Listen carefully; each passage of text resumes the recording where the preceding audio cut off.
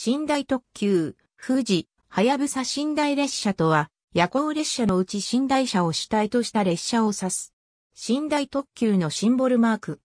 寝台急行は、JTB 時刻表では、白黒が反転して表記された。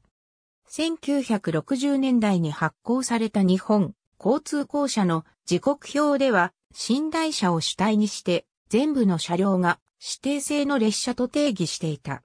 同時刻表は1963年7月号まで寝台専用列車の表記を用い、8月号から寝台列車に変更されている。したがって、自由席を含む座席車が主体で、編成内に少数の寝台車が含まれる、津軽などは寝台列車とされなかった。ただしその後、急行、十和田や仮勝ちのそれぞれ一部列車や臨時列車に格下げ後の急行、北国のように、寝台車主体で座席車は1から3両程度でありかつ全車指定制の列車であっても、同時刻表で寝台列車として扱われなかった例もあり、その理由は不明である。寝台特急は寝台列車のうちの特急列車であり、20系客車以降の固定編成客車によるブルートレインや285系電車による寝台列車がある。前史かつて大量の寝台車が存在し、オール、プルマンと呼ばれる寝台専用列車が多数存在したアメリカ合衆国を例外とすれば、世界各国の鉄道で長距離を運行する夜行列車は、優等客と大衆乗客のいずれのニーズにも応じることを目的として、寝台車と一般座席車の根結編成を組むことが普通だった。日本もその例に漏れず、1900年に山陽鉄道が日本初の寝台車を運行開始して以来、寝台専用列車というものは長らく存在しなかった。たとえ優等客専用の列車であっても、寝台車と座席車の双方が連結されていた。ただし、例外的な存在として、太平洋戦争中まで東京神戸間を運転していた夜行急行列車1往復には2等座席車1両の他は1等二等寝台車と食堂車のみで編成された時期がある。この列車には長期にわたり、17列車、18列車の列車番号が与えられ、上流危険の乗る列車として、名刺列車の俗称で知られた。この列車を日本最小の寝台列車とする考え方もあるが、1.2等の優等客専用の夜行列車という性格で、3等寝台車を連結した戦後の寝台列車とはやや方向性が異なる。なお、この列車は太平洋戦争が激しさを増す1943年に廃止されている。寝台列車の出現戦後の1950年代以降、日本国内の鉄道では全体の輸送量が著しく増大した。また、1941年に一時廃止されていた三等寝台車が1956年に復活。比較的低廉な運賃で寝台利用が可能になったことで寝台車そのものへの需要も高まった。なお三等寝台車は1960年より二等寝台車、1969年より B 寝台車となった。東海道本線全線電化に伴う1956年11月のダイヤ改正では、東京博多間特急列車、朝風が新設される。重量編成中に、寝台車が5両を占め、当時としては、寝台車の比率が高かった。これは好成績を収めた。さらに1957年10月からは、東京大阪間夜行急行の水星の蘇生を変更。14両編成中、座席車は最後尾の3等座席指定車1両のみで、残り12両はマロネ40型など2等寝台車と、那覇根10型などの3等寝台車が半数ずつだった。この列車は、列車番号が戦前の名刺列車と歌われた17.18列車と同じで、2等寝台車の割合が他の列車に比べて高かったことから、名刺列車の再来と言われた。この水星を寝台専用列車の講師と見る考え方もある。1958年には日本初の固定編成客車として20系客車が登場、特急、朝風に投入された。13両編成中旅客車は座席車が3両のみで他はすべて寝台車だった。なお、編成には食堂車、電源荷物車、各1両が含まれた。翌1959年9月には常磐線経由の上の青森間夜行急行、北斗が寝台列車化された。12両編成中、食堂車1両、荷物車2両のほか、2等寝台車2両、3等寝台車6両で、座席車はやはり3等座席指定車1両のみだった。あぶれた座席利用客は同じ区間を難航する急行、ドアダを全車座席車編成として救済している。なお、水星、北斗に1両だけ座席車が連結されていたのは、1950年代より1960年代、初頭の寝台車に環球車がほとんど存在しなかったためである。夜行急行列車の寝台列車化措置は、当初は列車全体の居住性改善や保守、点検の合理化などの目的があったとされる。増加1956年以降、国鉄の優等旅客列車には、電車、機動車が盛んに用いられるようになった。当時の電車、機動車には寝台車が存在せず、夜行列車として運転される場合にも、全車一般座席列車とならざるを得なかった。そこで、寝台需要に対しては、ほとんど寝台車のみで構成された、客車寝台特急、急行運行し、一般座席需要については、中高急行用の電車、機動車を夜行列車にも共用、これらを別便の急行列車として眼行させるという手法が取られるようになった。こうすれば、無動力の寝台車だけを新規製造することで、輸送力増強が実現できた。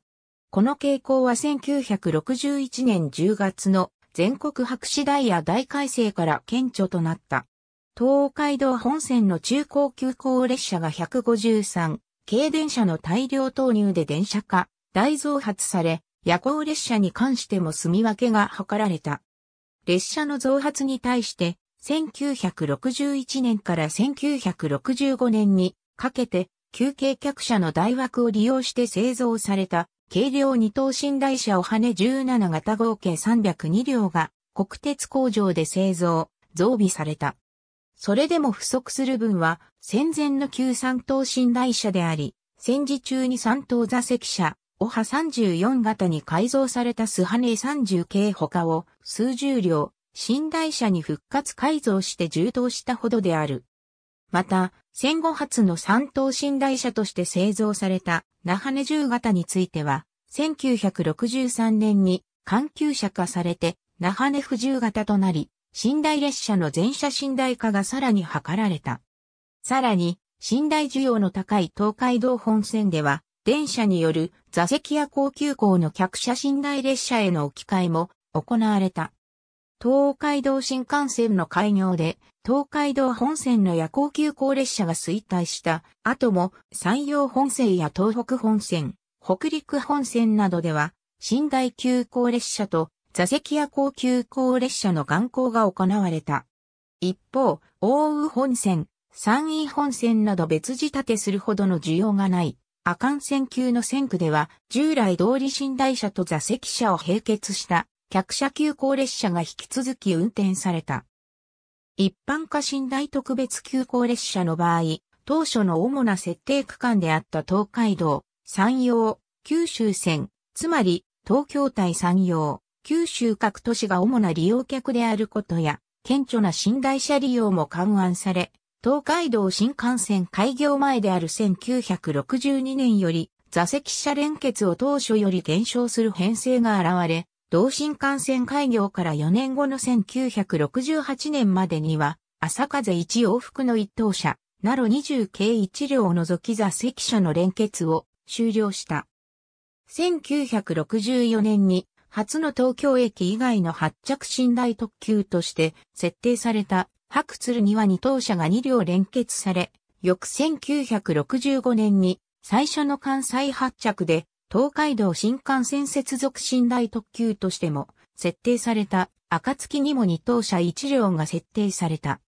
しかし、山陽、九州方面や東北方面でも電車による中高特急列車網の整備が進んだことから、20系座席車の利用者は次第に減少し、暁は1968年に連結を廃止。前車でも白鶴の客車を常磐線経由に変更したユーズルに連結された2両が1970年に廃されている。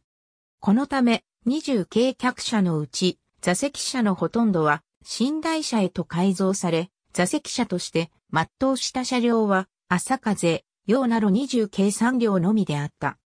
なお、1967年に運行を開始した寝台電車である581系電車では、二等車は昼は座席で夜は寝台での使用を目的とした構造を用いており、登場当初こそ暫定的な運用もあり一等車は座席、寝台ともに製造されなかった。しかし、本格的な運用となった1968年10月1日ダイヤ改正までに、寝台兼用の座席の開発が間に合わなかったことから、一等車については一等寝台ではなく座席車として製造された。そのため、昼行列車との兼ね合いで、常時一両連結していることが多く、夜行運転時でも座席車を連結する状態になっていた。衰退1975年以降は、運賃、各種料金の大幅な値上げに加え、新幹線や高速道路網、航空路線など高速交通網の整備が進んだ。結果、寝台列車を含む夜行列車全体の利用客が激減し、最盛期の1960年代に比べ、利用客は大幅に減少した。なお、1980年代後半以降、客車寝台特急では、高速バスへの対抗を目的として、座席車を一両のみ連結するケースが出てきた。純粋な座席車という点では、暁、那覇のレガートシートがあったが、暁が2008年3月15日付で廃止になって以降、該当例はなくなった。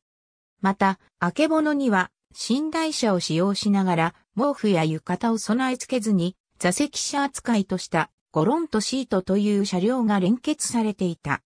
さらに、サンライズ出雲、瀬戸にも座席車扱いではあるが毛布が備え付けられて横になることが可能な、のびのび座席という車両が連結されている。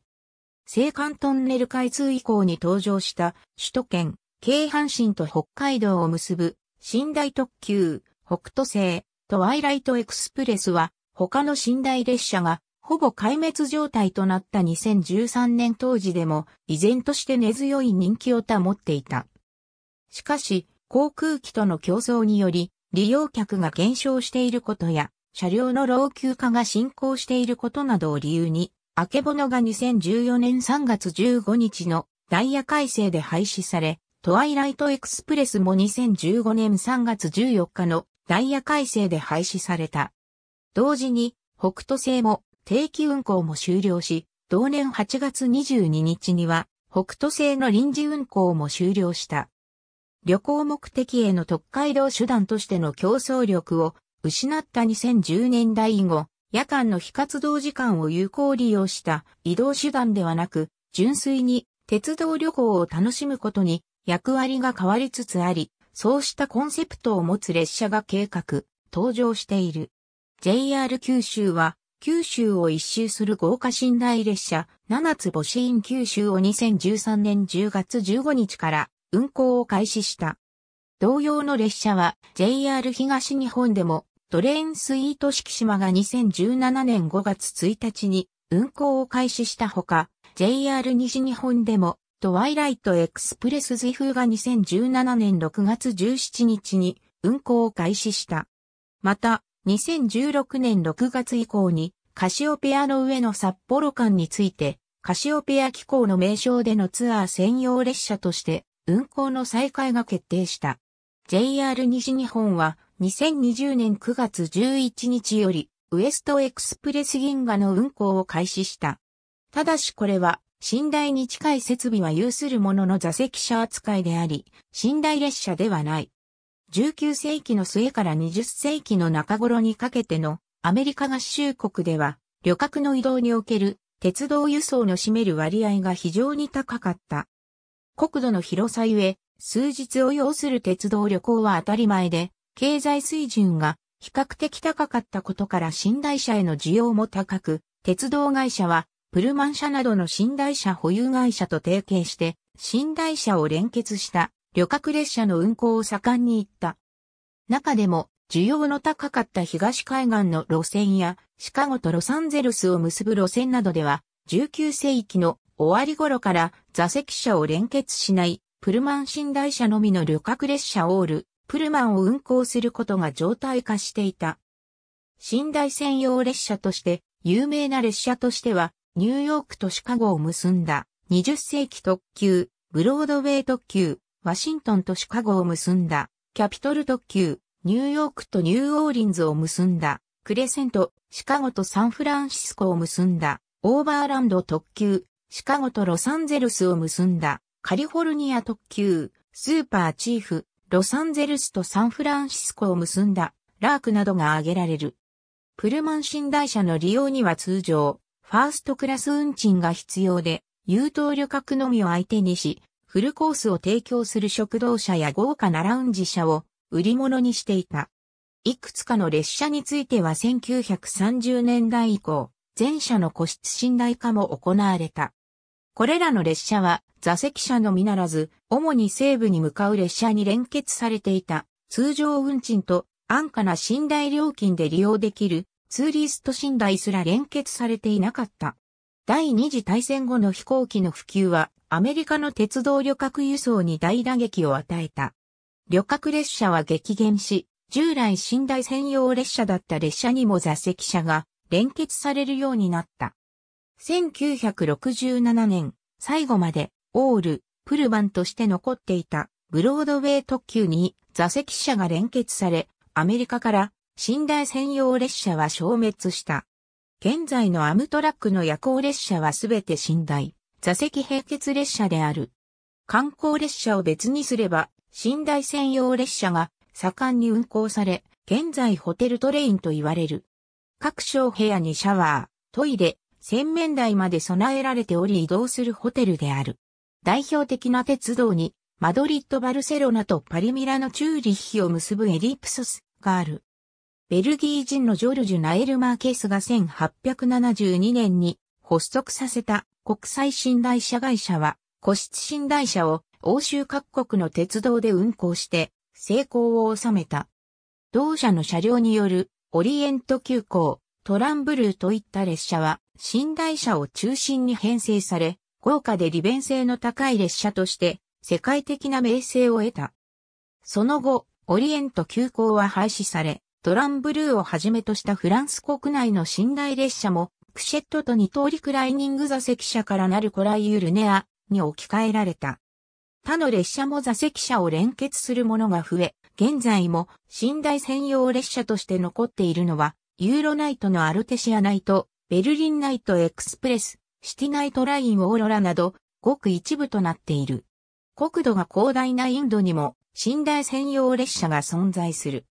貧富の差の問題などもあり、インドの鉄道では、ほとんどの列車に座席車が連結されているが、同時に運転時間が長時間にわたるため寝台車の比重が高くなっている。特に、ラージダーニー急行は、全車エアコン付き寝台車を用いた豪華列車として知られてきた。最近はインドでの中産階級の成長により、利用者が急増している。そのため、日本のブルートレインに近い寝台特急列車に実質的には近づいている。また、インドの急行列車は約20両に及ぶ編成のうち2から3両の座席車を除いては寝台車ばかりで構成されることが多い。ありがとうございます。